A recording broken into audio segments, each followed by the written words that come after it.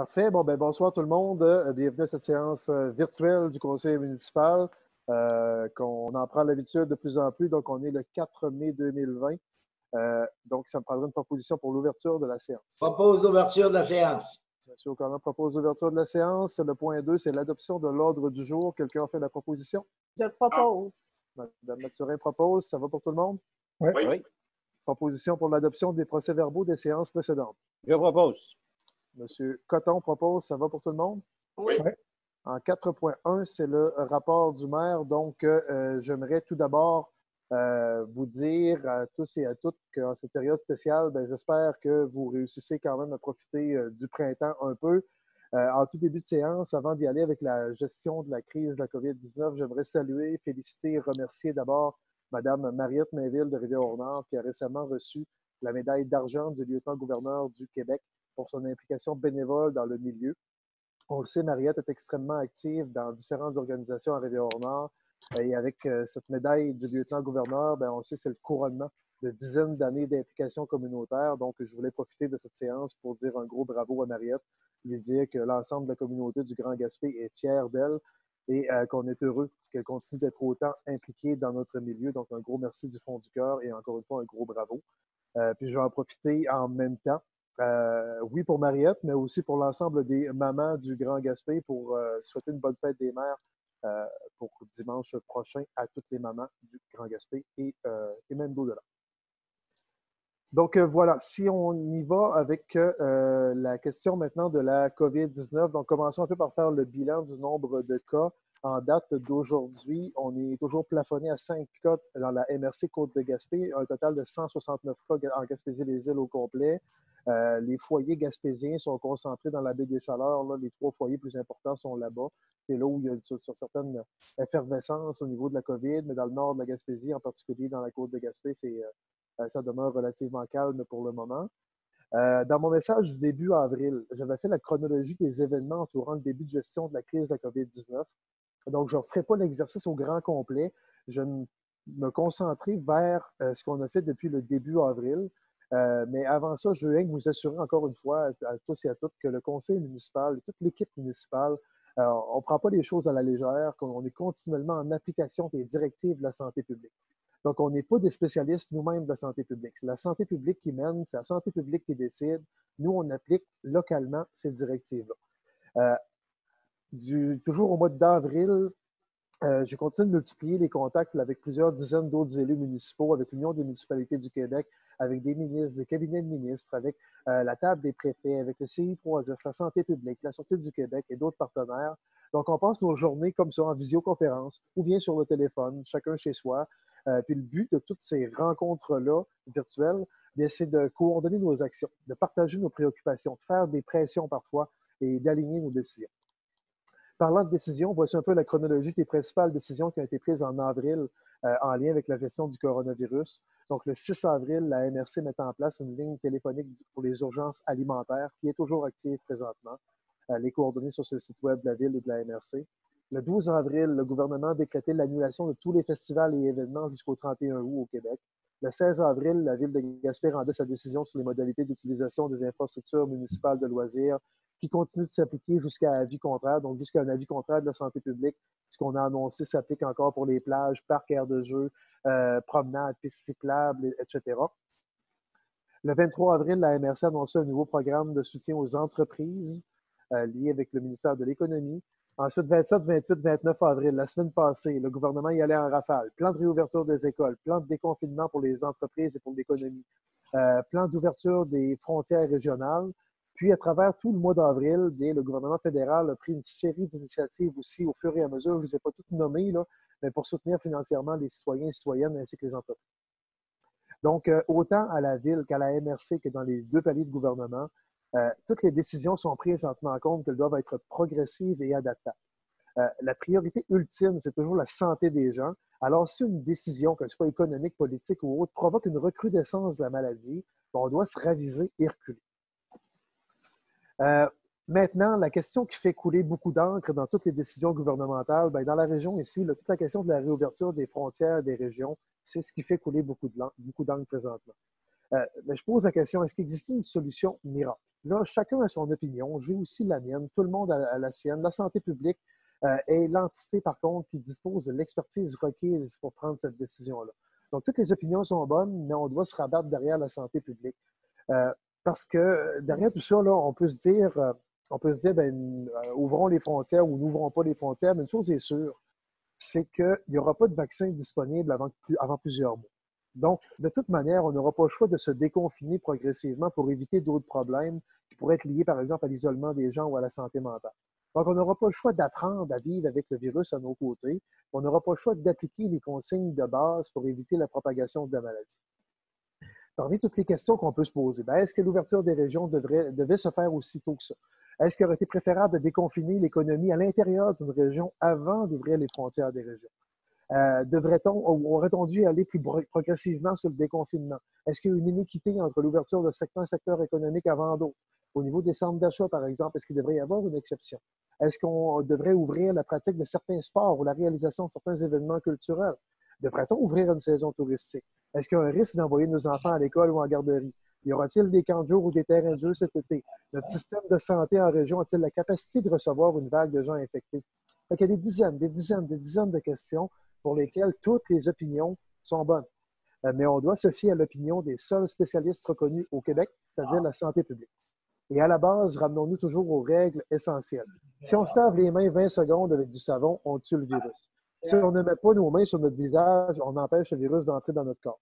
Si on garde nos distances avec les autres, si on porte un masque ou une visière quand on a l'obligation d'être proche de quelqu'un, on diminue grandement les risques. Ça, c'est les bases à respecter pour éviter la propagation du virus. Euh, aussi, les prochaines décisions de la santé publique qu'on va suivre de près et qui nous concernent euh, localement vont être les suivantes. Toutes les directives à appliquer au camp de jour et au terrain de cet été. Toute la question aussi des sports. Est-ce qu'on va pouvoir jouer au tennis, à la balle molle, au hockey, faire d'autres sports cet été? Puis si oui, comment on va pouvoir le faire? Euh, quel sera le plan de relance de l'industrie culturelle? Est-ce qu'on va pouvoir ouvrir les bibliothèques, les librairies, les musées? Est-ce qu'on va pouvoir faire des spectacles extérieurs ou intérieurs cet été? Quelle forme prendra la saison touristique cet été? C'est une autre question qu'on doit se poser. Est-ce qu'on va faire de la promotion juste à l'intérieur de la Gaspésie pour que les Gaspésiens voyagent en Gaspésie? Est-ce qu'on peut étendre ça au supra-régional, c'est-à-dire pour toutes les régions euh, dites froides qui, qui sont, tout proches de la Gaspésie, le Côte-Nord, Bassin-Laurent, Saguenay, Lac-Saint-Jean? Ou est-ce qu'on va faire une promotion nationale à la grandeur du Québec? Peu importe la solution, quels seront les protocoles pour recevoir des visiteurs? vous voyez des questions, là, il y en a de même des questions. Il y en a énormément. Et euh, on va laisser la chance à la santé publique et aux autorités gouvernementales qui maîtrisent ça mieux que nous, de prendre des décisions qui s'alignent dans les prochains jours et les prochaines semaines. Euh, nous, on fait part de nos préoccupations, puis oui, on pose des questions que les gens nous adressent, mais on va continuer d'évoluer progressivement dans tout vaste, ce vaste déconfinement-là qui s'opère présentement. Même chose du côté des chantiers de construction. Donc, euh, il y a eu un peu de retard sur nos chantiers municipaux en ce début d'année, mais les signaux sont maintenant ouverts pour la relance. Donc, nos équipes s'alignent avec les entrepreneurs pour activer, par exemple, le dossier du quai de Lanceau-Griffon, celui du garage municipal, celui de l'aéroport, celui du bâtiment de la halle de l'usine à Saint-Maurice. Et on va continuer sur les autres dossiers. On va continuer de travailler très fort pour finir de boucler le financement fédéral du projet de la capitale des pêches à Rivière-au-Nord. On attend des nouvelles du ministère de l'Éducation, Loisirs et Sports pour le dossier de l'aréna de Gaspé également, euh, dont les nouvelles sont attendues au début de l'été. Il y a tout ça qui se passe présentement. Puis, euh, malgré tout ça, la COVID-19 ne diminue pas les risques d'inondation. La Dame Nature nous aide cette année, mais il euh, faut quand même rester en veille au niveau des inondations avec nos équipes. Donc, notre plan de mesures d'urgence a été adapté pour que ce soit le milieu hôtelier qui puisse recevoir des éventuels sinistrés, parce qu'on ne peut pas les envoyer dans des lieux d'hébergement communautaire, ni chez de la famille ou des amis cette année à cause de la pandémie. Donc, on, a dû prévoir des plans B, mais notre plan de mesures d'urgence est prêt.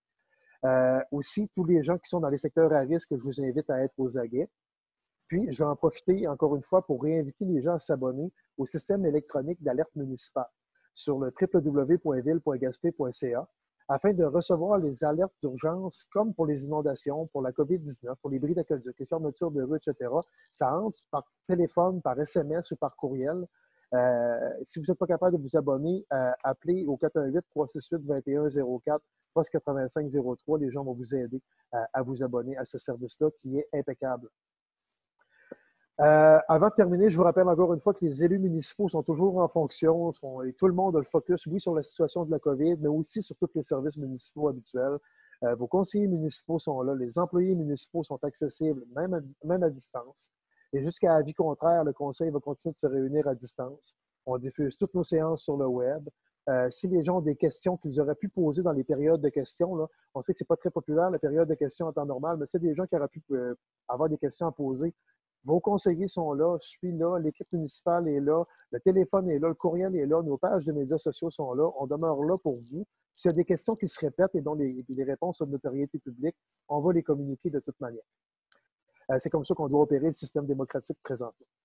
Euh, de plus, le, site web municipal contient toutes les coordonnées pertinentes aussi pour vous aider. N'hésitez pas à y recourir. Il y a une mine d'informations, euh, une mine de coordonnées là-dessus pour à peu près toutes les situations inimaginables.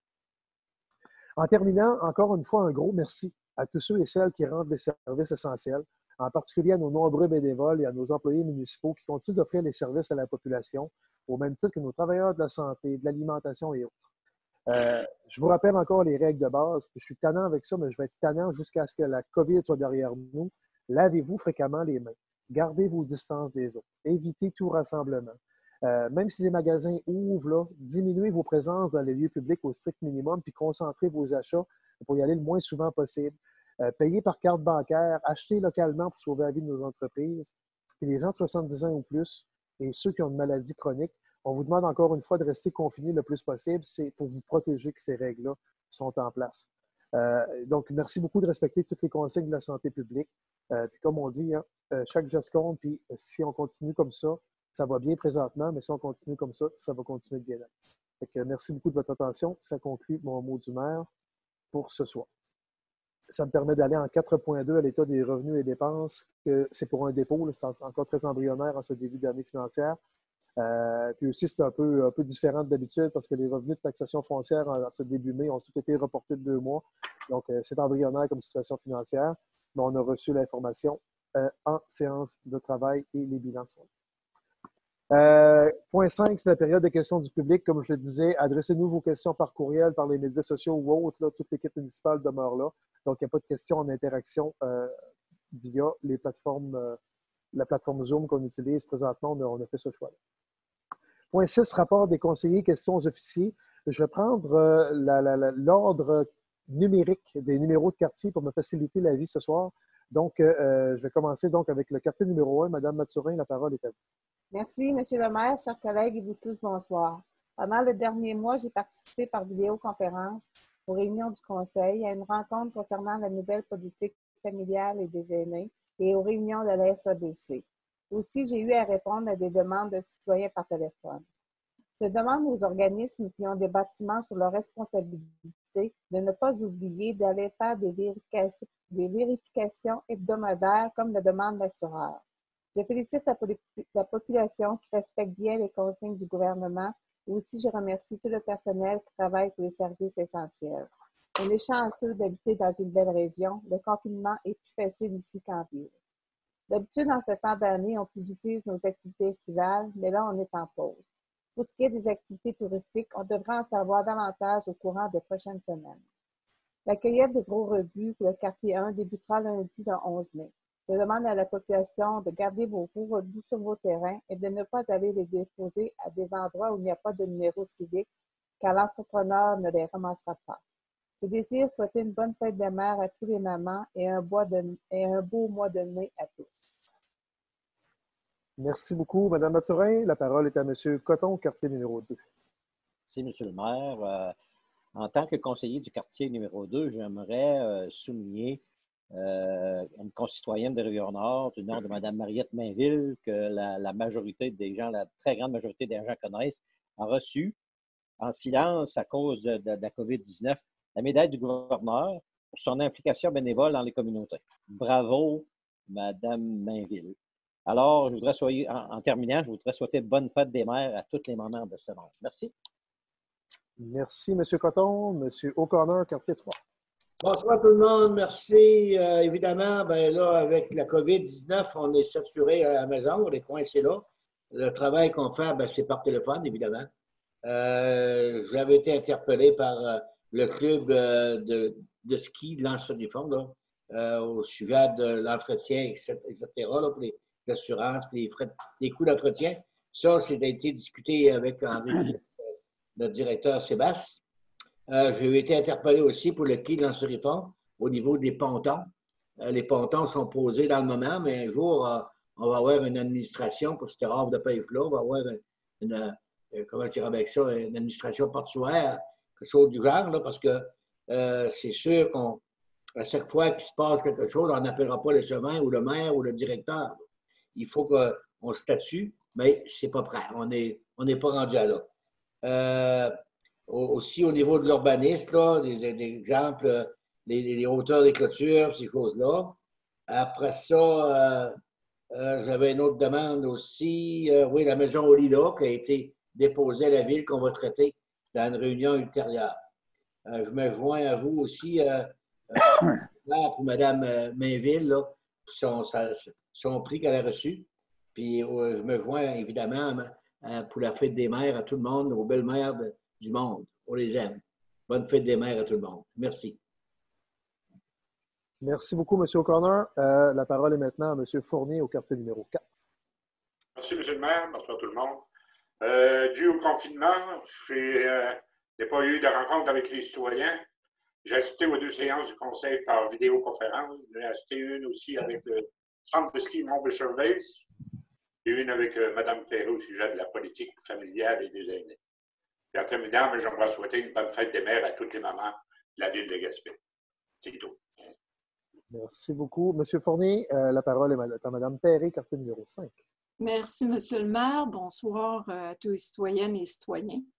Au cours du dernier mois, j'ai participé à plusieurs réunions par visioconférence. je peux quand même vous dire que malgré le confinement, je tiens à rassurer les citoyennes et les citoyens que je continue d'assumer mon rôle euh, de conseillère municipale avec le même intérêt et le même engagement. Alors, euh, je vous réitère euh, ma disponibilité. N'hésitez pas à communiquer avec moi si vous avez des besoins. Je vous assure que je transmettrai vos demandes d'information ou vos requêtes à l'équipe municipale. Plusieurs d'entre vous euh, sont déjà au courant que notre journée opération nettoyage n'aura pas lieu. Par contre, j'invite les citoyennes et citoyens à collaborer avec nous. Vous pouvez contribuer au grand ménage de différentes façons, soit par le nettoyage de votre terrain et pourquoi pas lors de votre marche quotidienne, parce qu'il y a de plus en plus de piétons, de, marcheurs. Donc, euh, je vous invite à ramasser des débris que l'on retrouve le long des fossés des trottoirs, des lieux publics, bien entendu en respectant euh, les mesures de protection. Cet été, notre municipalité sera évaluée pour sa classification des fleurons du Québec. Ce programme vise à reconnaître l'embellissement et les gestes posés en développement durable et communautaire. Lors de notre dernière évaluation qui remonte euh, il y a à peu près trois ans, nous avons obtenu quatre fleurons.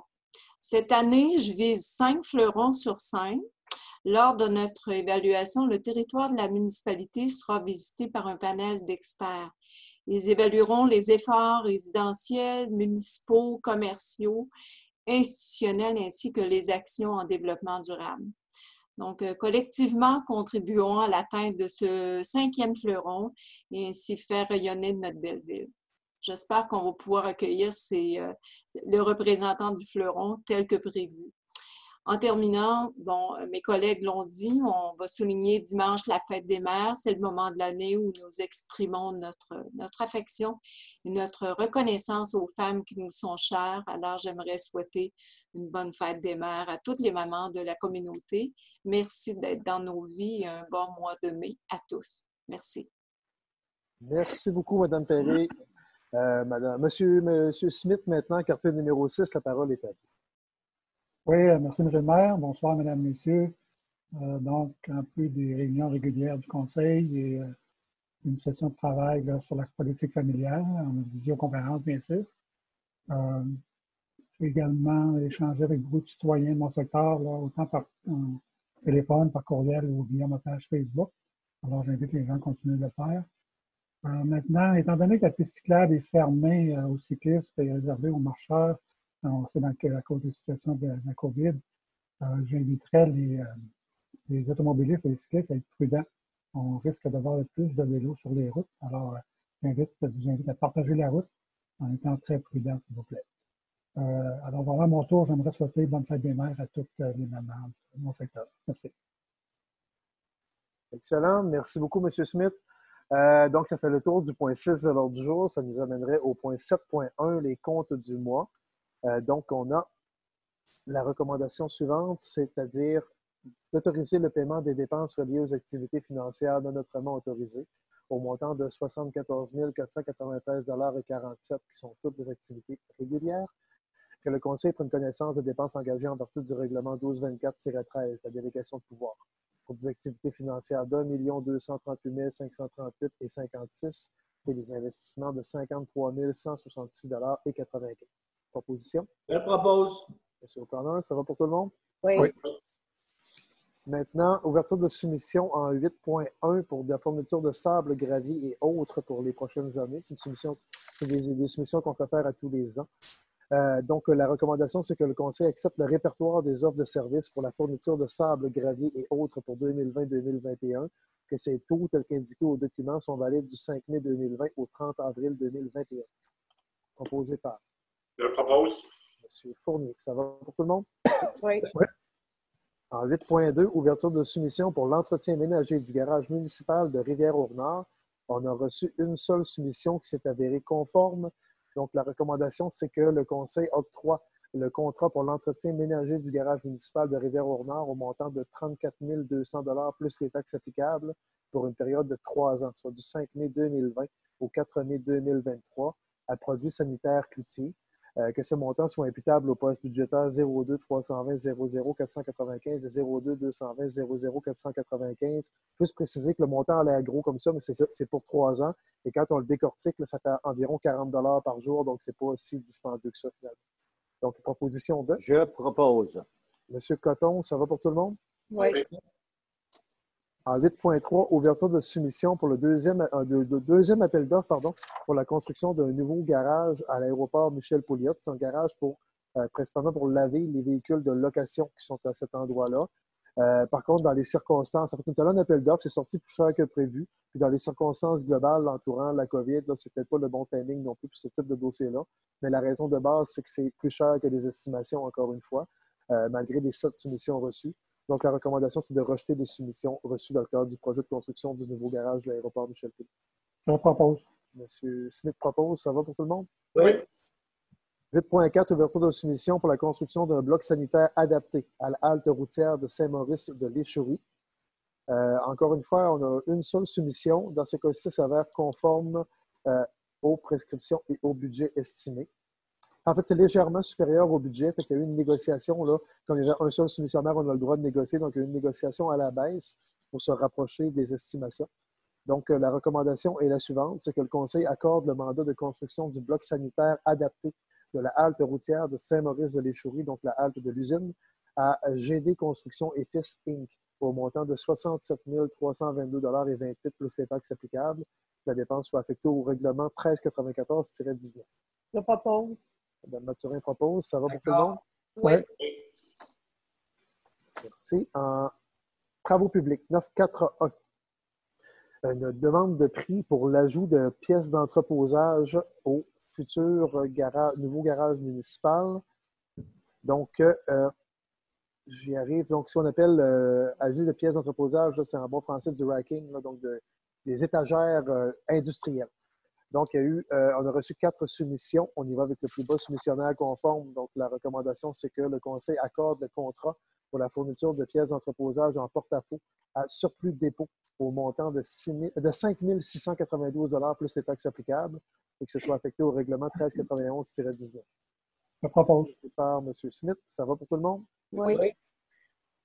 Maintenant, au niveau du service juridique et du greffe, donc, c'est des promesses de vente de terrain dans le parc industriel de Rivière-au-Nord.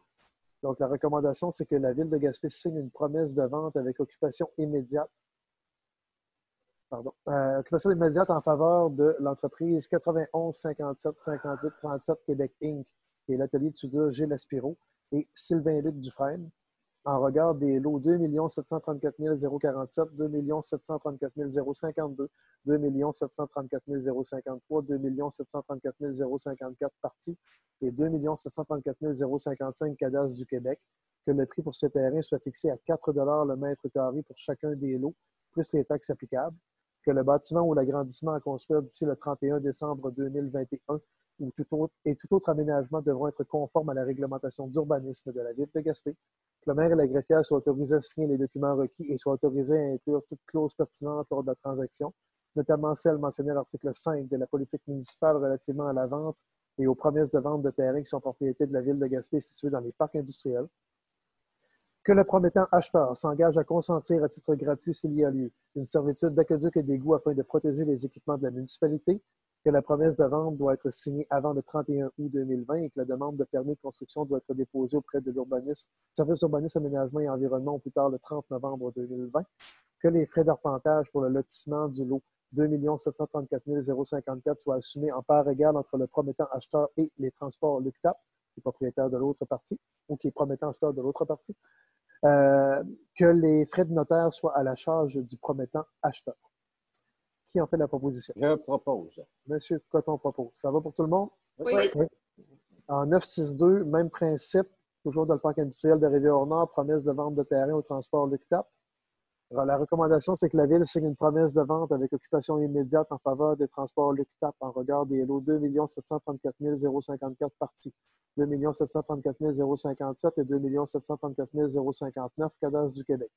Que le prix pour ce terrain soit fixé à 4 le mètre carré pour les pour les lots 2 734 054 parties et 2 734 057.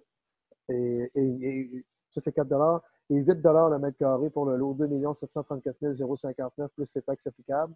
Parenthèse, s'il y a des gens qui se posent des questions sur la différence de prix, ceux qui n'ont pas de frontage sur les lieux, sur, les, sur une rue publique, on les a mis à 4 le mètre carré. Et ceux qui ont un frontage sur les rues publiques, c'est 8 le mètre carré, dans conforme à notre politique euh, dans les parcs industriels. Euh, ensuite, que, le tout devra, que, tout, aménagement devrait être conforme à la réglementation d'urbanisme de la Ville de Gaspé, que le maire et la greffière soient autorisés à signer les documents requis et soient autorisés à inclure toute clause pertinente lors de la transaction, notamment celle mentionnée à l'article 5 de la politique municipale relativement à la vente et aux promesses de vente de terrains qui sont propriétés de la Ville de Gaspé situés dans les parcs industriels, que le promettant acheteur s'engage à consentir à titre gratuit s'il y a lieu une servitude d'aqueduc et d'égout afin de protéger les équipements de la municipalité, que la promesse de vente doit être signée avant le 31 août 2020, que les frais d'arpentage soient assumés en part égale entre le promettant acheteur et 91 57 58 37 Québec Inc., Atelier de soudure Gilles Aspiro et Sylvain Luc Dufresne, qui sont les promettants acheteurs des terrains contigus, euh, que les frais de notaire soient à la charge du promettant acheteur. Proposé par. Je propose. Monsieur Coton, ça va pour tout le monde? Oui. Maintenant, en 963, résolution de concordance et de courte échéance relativement à un emprunt par obligation au montant de, 700, de 7 302 000 qui sera réalisé le 19 mai 2020. Donc, c'est pour les règlements d'emprunt municipaux qu'on doit financer via euh, l'émission d'obligations. Donc, la résolution la recommandation est la suivante c'est que les règlements d'emprunt indiqués au premier alinéa du préambule soient financés par obligation, conformément à ce qui suit. 1. Les obligations sont une, obligation par échéance datée du 19 mai 2020. 2. Les intérêts seront payables semi-annuellement le 19 mai et le 19 novembre de chaque année. 3. Les obligations ne seront pas rachetables par anticipation. Toutefois, elles pourront être rachetées avec le consentement des détenteurs conformément à la loi sur les dettes et emprunts municipaux. 4. Les obligations seront immatriculées au nom de Service de dépôt et de compensation CDS Inc. Euh, et seront déposées auprès de CDS. 5. CDS agira au nom de ses adhérents comme agent d'inscription en compte, agent détenteur d'obligations, agent payeur et responsable des transactions à effectuer à l'égard de ses adhérents, tel que décrit dans le protocole d'entente signé entre le ministère des Affaires municipales et CDS. CDS procédera au transfert de fonds conformément aux exigences légales de l'obligation et à cet effet, le Conseil autorise euh, le secrétaire trésorier ou la secrétaire trésorière ou le trésorier, dans notre cas, à signer le euh, document requis par le système bancaire canadien intitulé Autorisation pour le plan de débit préautorisé destiné aux entreprises. CDS effectuera les paiements de capital et d'intérêt aux adhérents par des transferts électroniques de fonds et à cette fin, CDS prélèvera directement les sommes requises dans le compte suivant Caisse populaire des Jardins de la Pointe de la Gaspésie, 80 rue Jean-Cartier, Gaspé, Québec, G4X2V2.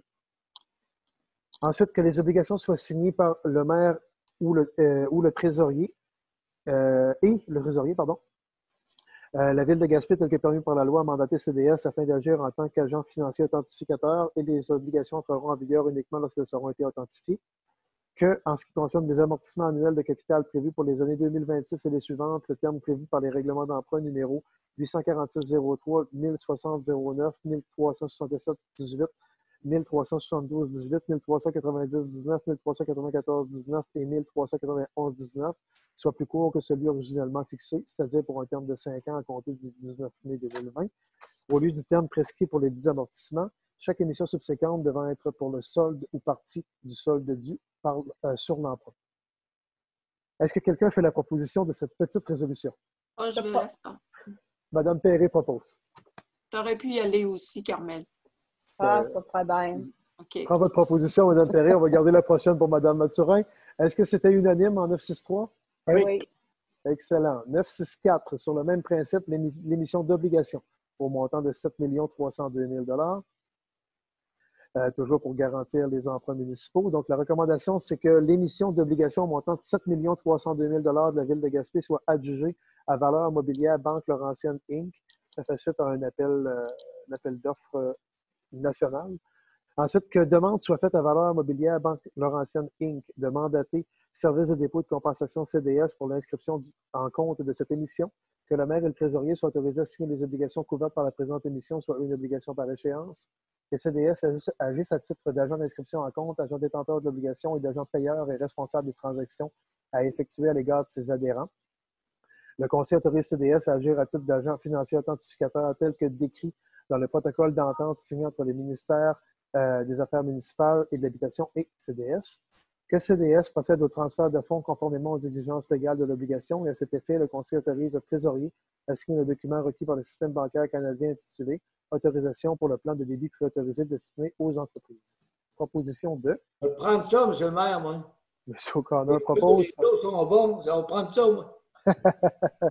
Excellent. Est-ce que ça va pour tout le monde? Oui. Euh, 965, paiement de facture pour l'assurance responsabilité d'exploitant d'aéroport à la compagnie Aeon Pariso.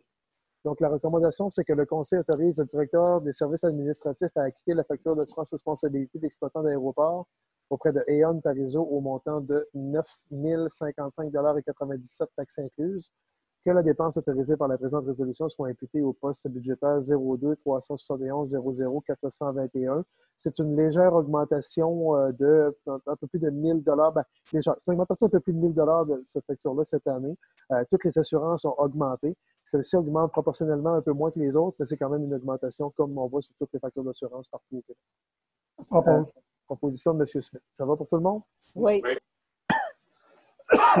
966, autorisation d'opérer un camion de cuisine temporaire au 178 rue de la Reine par l'hôtel Baker Limité. Euh, et ça nous a amené toute une réflexion au niveau euh, de la gestion des food trucks, comme on voit dans différentes municipalités. Là, on est à l'affût et on va probablement arriver avec une réglementation là-dessus prochainement. Euh, le dossier ci c'est un dossier qui est temporaire, là, mais ça, ça, active quand même nos neurones sur la question des food trucks. Donc, la recommandation, c'est que le Conseil euh, autorise l'entreprise Hôtel Baker Limité à opérer un camion de cuisine sur sa propriété située au 178 rue de la Reine jusqu'au 15 novembre 2021. Euh, que le Conseil rappelle à l'entreprise qu'il s'agit d'une autorisation temporaire et exceptionnelle dans le cadre du respect des mesures mises en place par le gouvernement du Québec dans le cadre de la COVID-19. Que le Conseil mandate le coordonnateur de l'urbanisme, de l'environnement, du territoire et de l'aménagement et, de l'environnement, pardon, à proposer une modification au règlement de zonage légiférant les roulottes à patates frites qu'on appelle, là, donc euh, euh, ce qu'on appelle aussi dans le jargon les food. Proposition 2. Je propose. Madame Perret propose. Ça va pour tout le monde? Oui. Parfait. Direction générale en 971. Autorisation de signature d'un protocole d'entente dans le Fonds d'aide aux initiatives régionales, volet 2. La recommandation, c'est que le Conseil autorise le directeur général à procéder à la signature du protocole d'entente avec le ministère de l'Économie et de l'Innovation relativement à l'octroi d'une aide financière dans le cadre du volet 2 du Fonds d'aide aux initiatives régionales pour le dossier FAIR 49506 dans le cadre du projet d'embauche d'une firme pour la mise en place d'une zone d'innovation dans la ville de Gaspé, que la ville de Gaspé s'engage à payer sa part des coûts admissibles au projet. Proposé par. M. Fournier propose. Ça va pour tout le monde? Oui. Ben, Protocole. Monsieur Ah, Mme Mathurin va, va regarder celle-là la prochaine. Si Mme Mathurin veut le proposer, on va, le- on va le laisser le proposer. Protocole ça. Moi, je prends la première voix qui, qui, qui- qui saute dans mon oreille. Euh, donc, Fonds d'aide aux initiatives régionales, volet 4. Ça, c'est des subventions récurrentes que les milieux municipaux reçoivent dans le programme FAIR. Donc, la recommandation, c'est que le Conseil autorise le maire et la greffière à signer le protocole d'entente avec la MRC Côte de Gaspé dans le cadre du Fonds d'aide aux initiatives régionales, volet 4. C'est une subvention de 40 000 qu'on reçoit annuellement. Madame Mathurin propose. Je le propose. Yeah! Ça va pour tout le monde? Oui. Alors, Parfait. En 973, c'est la progression salariale du personnel cadre telle que prévue à la Convention de travail euh, des cadres. Donc, euh, euh, la recommandation, c'est que le Conseil autorise le directeur des services administratifs à augmenter le salaire du personnel cadre selon le tableau présenté. Donc, c'est l'indexation des échelons euh, tel que prévu à la Convention. Euh, que les employés cadres qui ne bénéficient pas d'augmentation sont ceux qui ont soit déjà atteint l'échelon salarial maximal de leur classe, ou ceux qui n'ont pas obtenu un résultat satisfaisant lors de leur évaluation annuelle. C'est une proposition de Je propose. M. Smith. Ça va pour tout le monde? Oui. 974, honoraires supplémentaires pour les services professionnels en ingénierie pour le projet euh, du garage municipal dans l'ancienne usine GDS. La recommandation, c'est que le Conseil autorise le paiement d'honoraires professionnels supplémentaires à Quattro Consultants au montant de 2 804 plus les taxes applicables. Euh, c'est pour des travaux supplémentaires qui n'avaient pas été prévus euh, dans les plans initiaux, donc pour des, des- des- par exemple des ajouts de trappes de sable, syst- euh, d'un système sur l'essence. Euh, donc voilà, c'est des, des- des petits- des petits ajustements en cours de route qui ne sont pas exceptionnels et qui ne dépassent pas le budget prévu. Euh, ensuite, que la dépense soit imputée au règlement d'emprunt 1391-19, proposé par? Je propose. M. Smith. Ça va pour tout le monde? Oui. En 975, euh, avenant de modification A02 pour le projet d'aménagement du centre de service des travaux publics, donc toujours le, le nouveau garage municipal. Euh, là, c'est des directives de changement qui ont été faites en cours de route également pour prévoir. Euh, en fait, c'est une question, c'est les, c'est des choses qu'on met au plafond. Je ne me rappelle pas le nom, mais c'est pas grave. Euh, c'est des, euh, des équipements supplémentaires qui n'avaient pas été prévus dans les, dans les plans initiaux et qu'on fait rajouter en cours de route. Donc voilà. Fait ça, encore une fois, ça dépasse pas. Le, le projet global, on est toujours à l'intérieur du budget global. Donc la recommandation, c'est que le Conseil autorise le paiement des modifications incluses au terme de l'avenant de modification A02 à Decamco Construction Inc. au montant de 44 366 et 30 plus les taxes applicables, que le montant soit imputé au règlement d'emprunt 1391-19. Proposé par? Je propose. M. Smith propose. Et M. Smith, vous rappelez-vous, c'est quoi le nom de l'appareil qu'on qu'on rajoute au plafond? C'est quoi, des talents, non? Ah, c'est ça, des palans. Voilà. Des, des palans contrôlés, les- en fait, avec un contrôle électronique. Ouais, les ponts roulants coûtaient trop cher, mais la solution entre des chain blocs ordinaires et des ponts roulants, c'est des palans. Fait que, euh, voilà. Roulant mécanique. Talent mécanique. Merci beaucoup, M. O'Connor et M. Smith. C'est le, nom que je cherchais. Euh, 976 maintenant. Entente de passage entre le club cycliste Vélocipègue de Gaspé et la ville de Gaspé. Ça, c'est au Mont de Chervaise. Donc, la recommandation, c'est que le Conseil accepte les termes de l'entente de droit de passage soumise entre le club cycliste Vélocipègue de Gaspé et la ville de Gaspé. Que le maire et la greffière soient autorisés à signer les documents requis et, le cas échéant, à y apporter des modifications mineures s'il y a lieu. Et dans l'entente, c'est prévu que euh, le, conseil d'administration du centre de ski doit s'entendre avec euh, le club cycliste euh, Vélocipègue de Gaspé pour l'utilisation euh, de la montagne. Proposition de M. Fournier propose. Ça va pour tout le monde? Oui. Oui. Maintenant, les points de ressources humaines. D'abord, en 9.8.1, démission de pompiers à temps partiel. La recommandation, c'est que le Conseil mette fin au lien d'emploi de messieurs Francis Denis et Pierre-Luc Fortin, pompiers à temps partiel pour le service de protection contre les incendies de la ville de Gaspé, et que le Conseil municipal en profite pour les remercier pour les services offerts à la population de la ville, que le Conseil municipal les avise que l'équipement qui leur a été prêté doit être retourné le plus rapidement possible. Je propose. Madame Mathurin propose, ça va pour tout le monde? Oui. En 9.2, attribution à l'interne d'un poste annuel de journalier préposé à la balance et préposé à l'aréna et journalier, donc un poste mixte. La recommandation, c'est que le Conseil procède à l'embauche de M. Gilles Mathurin au poste annuel de journalier d'été et préposé à la balance préposé d'aréna et journalier d'hiver, et ce en date du 4 mai 2020. Que la période d'adaptation soit de deux semaines, soit du 4 mai au 15 mai 2020. Que les conditions salariales s'appliquent euh, soit la classe 2 durant la saison estivale et la classe 3 durant la saison hivernale de l'échelle salariale d'école 2 de la convention collective en vigueur. Que la dépense salariale soit imputée au poste 02 701 32 141 pour 59% et 02 701 58 141 pour 41 Je propose. Proposé par M. Coton. Ça va pour tout le monde? Oui. En 983 maintenant, euh, toujours une attribution à l'interne. Ça, c'est des roulements de poste à l'interne. Euh, donc, attribution à l'interne d'un poste annuel de journalier. La recommandation est que le Conseil procède à l'embauche de M. René Samuel au poste annuel de journalier, et ça en date du 4 mai 2020. Que la période d'adaptation n'est pas nécessaire étant donné qu'il a effectué un poste similaire depuis de nombreuses années. Que les conditions salariales s'appliquent selon la classe 2 de l'échelle salariale d'école bleue de la Convention collective en vigueur que la dépense salariale soit imputée au poste budgétaire 02 320 00 141 pour 60 02 330 20 141 pour 28 02 413 00 141 pour 6% et 02 415 00 141 pour 6% Proposé par? Je propose. Mme Mathurin, ça va pour tout le monde? Oui. En 984, autorisation à signer des lettres d'entente pour l'année 2020 la recommandation est que le Conseil autorise le maire et la greffière à signer les lettres d'entente au nom de la Ville de Gaspé pour un remboursement de certains frais d'utilisation des téléphones personnels, euh, donc les téléphones cellulaires, aux personnes salariées col bleu occupant des postes de technicien en traitement des eaux potables et usées, postes d'opérateur de réseau d'aqueduc et d'égouts, postes de chauffeur de camion, de l'écureur d'égouts et de vidange de fosses septiques et journaliers, le poste d'électricien et le poste d'animateur sport et loisirs durant la période d'opération de la plage d'Aldeman dans ce cas-ci, euh, que le, conseil municipal accepte les ententes entre le syndicat et l'employeur dont les copies sont présentées au conseil. C'est simplement pour rembourser euh, les employés sur l'utilisation de leur cellulaire personnel sur la job parce qu'ils se font appeler par leur euh, superviseur ou par leur contremaître sur le lieu de travail et l'employeur ne fournit pas le cellulaire à ces employés-là, donc on les compense de cette manière. Sur une proposition de Mme Perry. Je vais proposer.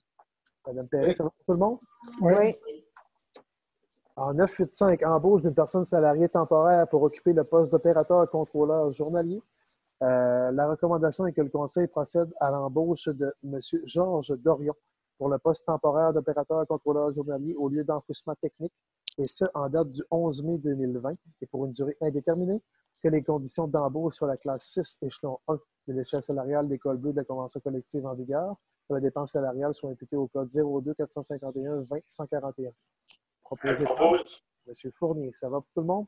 Oui. En 986, adoption de la politique relativement à la pandémie de COVID-19. La recommandation, c'est que le Conseil adopte la nouvelle politique relativement à la pandémie de COVID-19 présentée au Conseil. La direction générale soit mandatée pour la faire respecter par l'ensemble de nos employés, sous-traitants et autres parties impliquées. Euh, on a déjà adopté des politiques euh, similaires là, dans le cadre de la grippe H1N1 en 2009, donc on l'a adapté euh, simplement pour assurer la protection et la sécurité de nos employés, mais aussi du public dans le cadre des relations entre, les employés municipaux et le public. Euh, donc, la politique est assez large euh, et euh, en fait, elle s'applique à, partir de maintenant, à partir de son adoption, mais elle va s'appliquer aussi. Présentement, les bureaux sont fermés à l'hôtel de ville, mais il y a des clauses qui vont prévoir certaines règles à suivre lorsqu'on va réouvrir au public l'hôtel de ville. Donc, il y a des clauses qui s'appliquent au public également et qui vont être communiquées là, à l'hôtel de ville et probablement dans les garages municipaux également. Donc, voilà, c'est une politique pour protéger autant les employés que le public. Est-ce que quelqu'un a fait la proposition? Monsieur Smith, est-ce que ça allait pour tout le monde? Oui. Oui. Excellent. Euh, donc, voilà, euh, ça complète euh, l'ordre du jour. En fait, il y a le point 14, c'est question du public. Je le réitère, je le rappelle à chaque fois. Les gens qui ont des questions, n'hésitez pas. On est rejoignable en tout temps et sur toutes les plateformes inimaginables. Euh, à peu près l'ensemble du conseil. En fait, la grande majorité du conseil sont sur Facebook. Tout le monde a une adresse courriel. Tout le monde a un numéro de téléphone. Euh, à l'hôtel de ville, on peut laisser des messages sur les boîtes vocales qui sont présentes. Les messages sont relayés. Euh, puis si on voit a des questions qui méritent l'attention du public, qui sont d'ordre public, on les ramène soit en séance ou soit dans mes vidéos que je fais presque quotidiennement, où on va y répondre sur les plateformes requises. Fait n'hésitez pas à nous rejoindre. On demeure à votre service la question étant complétée, euh, je prends une proposition pour la fermeture de la séance et vous dire au revoir en même temps. Je propose. Madame Perret propose à lever de l'Assemblée. Euh, merci à tous et à toutes de votre présence encore une fois. Merci au public de nous suivre sur cette plateforme-là de façon exceptionnelle. Et on se dit à bientôt.